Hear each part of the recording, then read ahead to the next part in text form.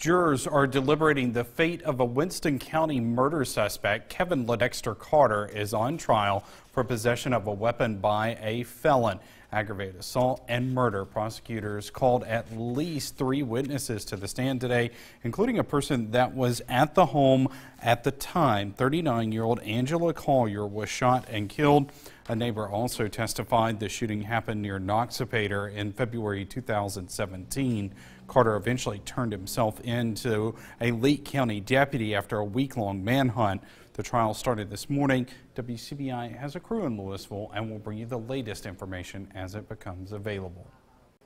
A $250,000 package has a Nettleton woman wrapped up in some legal trouble. Lee County deputies say the costly delivery was 18 pounds of marijuana. Acting on a tip, Sheriff Jim Johnson says narcotics agents waited on 48-year-old Angel Herndon at the Nettleton police office when she picked